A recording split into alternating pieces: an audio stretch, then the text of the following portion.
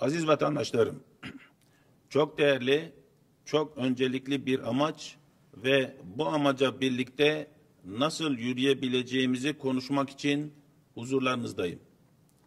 Amacımız çocuklarımızı toplumun yapı taşı olan aileleri gelecekte aile kuracak insanlarımızı ilgilendiriyor. Huzurunuza çıkmadan önce SMA Bilim Kurulumuzla sonuçlarını birazdan anlatacağım kapsamlı bir toplantı gerçekleştirdik. Bu toplantı önemli gelişmelere kaynaklık etti. SMA hastası yavrularımızla ailelerinin hayatında değişiklikler sağlayacak, çocuk sahibi olmayı planla, planlayanların SMA açısından endişelerini giderecek gelişmelerden söz edeceğim. SMA hastalarından söz ederken yaşamın en kırılgan halinden söz ediyoruz. Her adım, her karar ve her söz bu kırılganlığı gözetmek zorundadır. Konunun hassasiyeti hepimizi üstün bir dikkatle davranmaya mecbur kılıyor. Söz konusu kırılganlık ne iyimserlikten hayali umutlar üretmeye ne de en küçük imkanı göz ardı etmeye elverişlidir. Yapıcı olan şey sorumluluk bilinci ve kanıta dayalı bilimden alınan destektir. Maalesef bunların tam tersi bile söz konusu olabilmektedir. Oysa kırılgan hayatlar dokunulmaz hayatlardır. Bu hayatların umutlarıyla oynanamaz. Bakanlığımız SMA konusunda somutluk kazanmış, sonuç vadeden bilimsel verilerden hareket etmektedir. Ve hepimiz biliyoruz ki tıbbın ilk kuralı da mevcut bilgiler ışığında hastaya zarar vermesi olası her şeyden kaçınmaktır. Bu kural gereği tıp kendini sürekli olarak yeni bilgilere ama riske girmeden adapte eder. Bu anlamda bilim öncü, hekimlik takipçidir. Aziz vatandaşlarım, Nusin Ersen etkin maddeli SMA hastalarındaki etkisinin sınırları ortaya konmuş olan ilaç ülkemizde uygulanan tedavinin kapsamındadır ve bu ilaç bedelsiz olarak sağlanmaktadır. Yıllardır yapılan çalışmalar ve ülkemizde hastaların yaşamından elde edilen gerçek veriler ilacın erken evrede fayda sağlayabildiğini göstermektedir. Ne yazık ki bu hastalığın her döneminde etkili olan bir tedavi mevcut değildir. Hastalarımıza mevcut en iyi tedavileri sunmak, hayatlarını kolaylaştırmak stratejimizin esasını oluşturuyor. SMA hastalığı sebebiyle yeni ıstıraplar yaşanmasını önlemekse en önemli hedeflerimizden birisidir.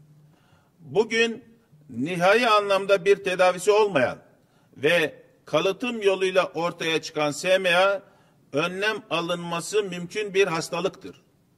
Bu amaçla evlilik öncesinde tüm çiftlere ve yeni doğan bebeklere SMA taraması yapılması programını hayata geçiriyoruz. Evlilik öncesinde SMA taraması zorunlu hale getirilmektedir. Tarama sonucunda genetik yapıları SMA hastası bebek dünyaya getirme riski içeren çiftler eğer arzu ederlerse tüp bebek yöntemiyle bu riskten uzak bir şekilde çocuk sahibi olabilirler. Bedeli devletimizce karşılanmaktadır. Ayrıca yeni doğan bebekler için hastalıklar açısından yapılan genetik taramalara SMA hastalığı dahil edilmiş durumdadır. Böylece tedavinin etkili olduğu erken dönemde yakalama şansı ortaya çıkacaktır. Çalışma ay sonuna dek uygulanmaya konuyor. Değerli vatandaşlarım, bugün yapılan SMA Bilim Kurulu toplantısının sonuçlarını dört madde halinde sizlere arz etmek istiyorum. Bir, spinal müsküler atrofi hastalığının farklı tipleri için hastalığı modifiye eden tedavi seçenekleri mevcuttur.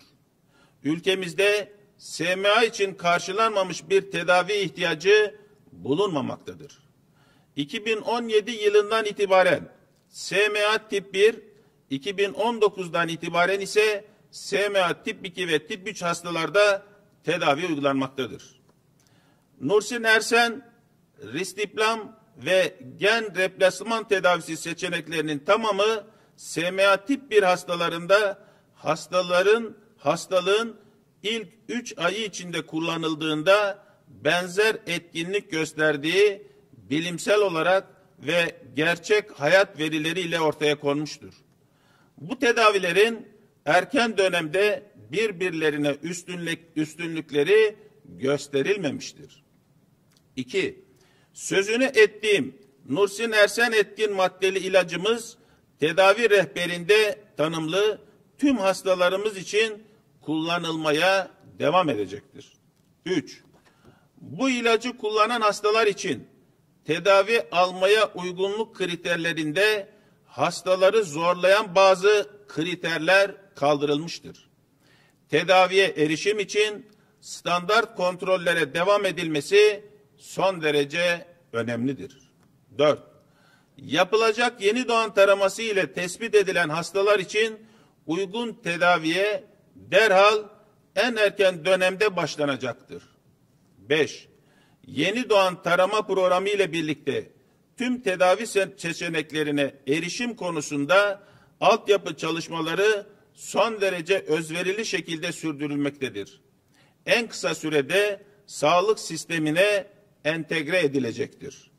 SMA Bilim Kurulu'nun önerilerini ve bu doğrultudaki uygulamaları saygıyla arz eder, hepinize selam ve sevgilerimi sunarım.